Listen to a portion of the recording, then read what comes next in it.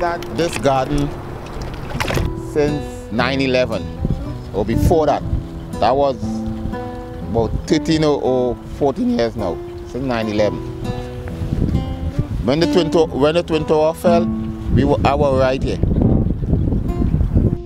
Well, we, they, they call it Shantytown yeah. because it used to be nasty as I tell you and Shantytown is a place in China where very nasty.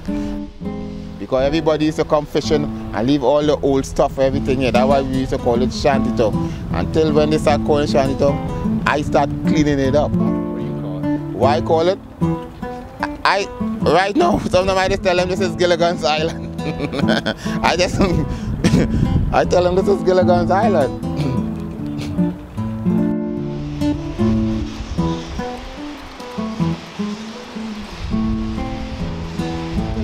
Come here, people just come here. If you come here in the morning, 7 o'clock, you have nobody here, not, nobody inside. But if you come here Saturday, Friday, after 4 o'clock in the afternoon, everybody just pulling in here. Mad cars, people just coming and enjoy themselves and have a good time. Now, police is fine with us. Police is fine. Because, you know, they protect us. They make sure we are all right. They make sure I'm all right.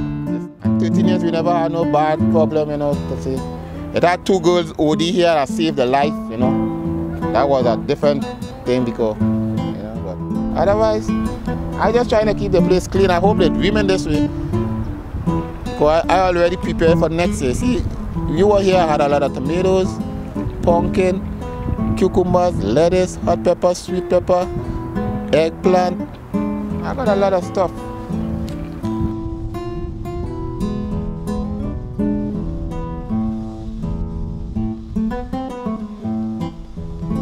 These trees bear a lot of fruit. Those guys eat it out.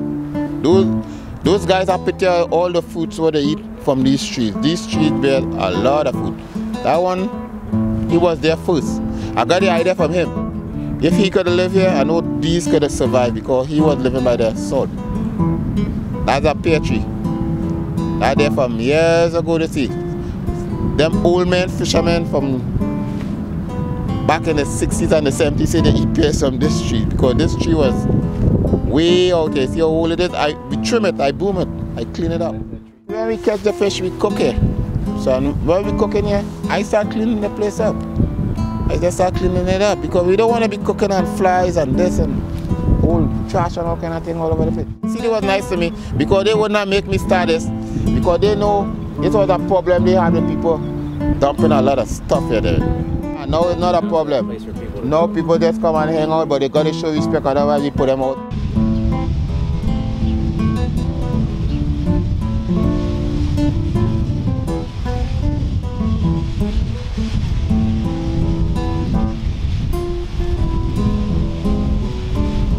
This was a guy named Tommy here. This is a guy named Tommy. He, he was the guy who was living here with us. He died. He died last year. He was a big, big, big And he come out here and he never go back home. And he died out here.